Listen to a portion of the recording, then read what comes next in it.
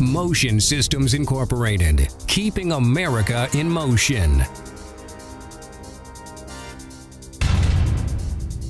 Rush gears, splines, sprockets, pulleys, shafts, bushings, stock sheaves, or any linear motion transfer device is what Motion Systems has specialized in for over 35 years. We are rush job experts in emergency turning or machining for any part you need with or without prints. We can reverse engineer an obsolete or broken gear, pulley, sprocket, spline, bushing, or shaft and replace it in some cases in as little as 24 hours.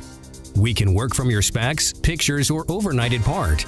Any broken machining drive part you need, we can deliver quickly and right the first time, getting your company back in motion.